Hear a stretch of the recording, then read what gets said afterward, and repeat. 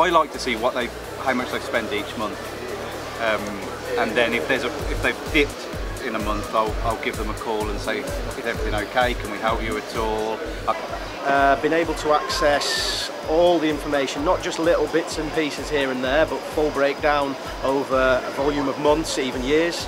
uh, of what my accounts are doing, other accounts are doing, the general business is doing, allows me to be able to react day on day and sometimes hour on hour while I'm outside the country and working remotely on my own. Um, sales eyes really helped me to do that.